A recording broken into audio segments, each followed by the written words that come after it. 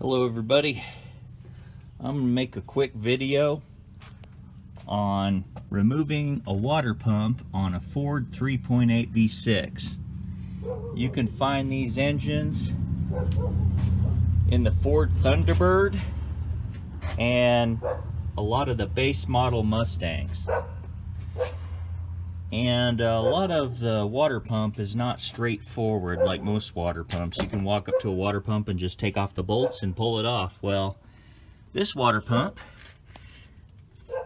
here's all your accessories. See that big accessory bracket where the water pump and the alternator and the tensioner, well, this uh, idler pulley's held these nuts hold this over the water pump. So you got to pull this whole accessory, this whole accessory off to get access to the water pump. You have to pull this pulley off. And they got some real tricky bolts, so you can either A, choose to remove the power steering pulley, or like I did, cut a notch in it so you can get to that bolt, that tricky little bolt back there. There's a tricky bolt back there and you can get it with a wobbly or a universal. As there's some real hard to reach bolts taking off this accessory side here, or at least removing it and putting it off to the side. Of course, then you got to remove upper hose, lower hose, this little guy right here. Take off this little 8 millimeter, take that tube out, or at least enough to gain access to the pump. Then you got to remove the coils, the coil pack by these two nuts. So you gain access right here, one and two. Those nuts, take them off. Then you can remove the rest of the water pump bolts. Now, there's also another thing behind this tube right here. You gotta take off the tube to access that bolt right there, which holds this coil pack bracket on.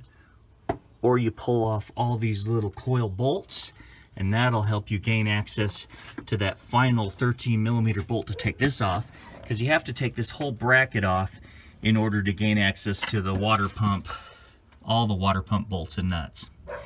And while you're down there, it's a good time to change the crank position sensor because it's right there. Once the water pump is exposed and out of the way, you can easily get to your crank position sensor. And your cam position sensor is right behind this bracket right here. So that's also a good time to get your cam position sensor out because those are common fail sensors after you know, high 100,000 mile, 200,000 mile mark. And this one has over 200,000, so rather than wait for the sensor to fail, you change it out. And uh, one of the, well, that's one of the tricks of the trade to get that water pump off. Thought I'd share that because I remember this water pump being a real pain when I was removing it because of all the stuff you had to get out of the way first. So with that in mind, that's how you do the water pump on the Ford 3.8 V6, which they put in a lot of Thunderbirds. They put in some Ford Tauruses, Mustangs, and some trucks. So, you know, the light, light duty trucks. So that's just a few things on how to remove the water pump because they are usually behind the accessories to access those bolts. So also a good thing to get while you're down there is get the thermostat too. Two bolts. And you might as well go and put a lower degree thermostat in there since the factory puts too high of a thermostat in there. So if your engine were to overheat, getting from 200 degrees, which the factory thermostat is, all the way to 270 is pretty fast. If you go put a 160 or 180 degree in there, that's just all the much cooler your engine will stay on a consistent basis, especially on those hot summer days when you have the air conditioning on. So, hope this helps some of you guys that like to do your own water pumps on these Ford 3.8 engines that they've put in, of course, this Ford Thunderbird that I have here, I'll just kind of scan the car, let you see it. 1997 Ford Thunderbird. Pretty nice little car.